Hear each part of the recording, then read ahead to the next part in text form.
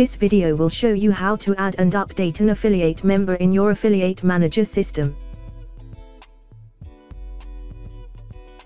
In the Manage Members page, you can view a list of affiliates in your system. You can activate, deactivate and delete affiliates as you see fit. You may also log into the members area as an affiliate by clicking on the lock icon for each affiliate.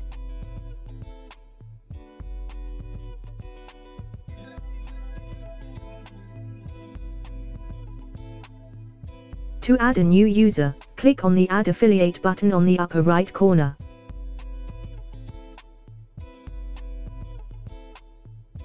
In the Add Member page, enter the user's first name, last name, username, email, and password. You can also send the new login details to the affiliate user by selecting it on this screen here.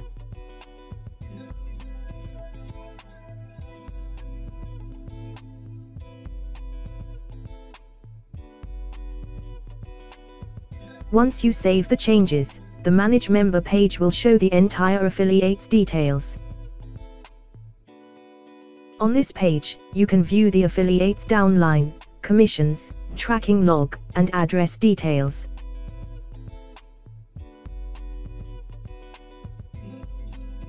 You can update a user's affiliate sponsor on the Affiliate Info tab.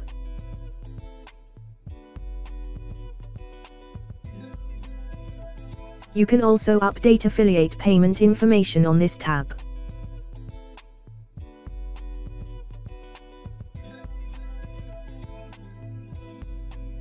On the Groups tab, you can set the affiliate's custom affiliate group and mailing list subscriptions.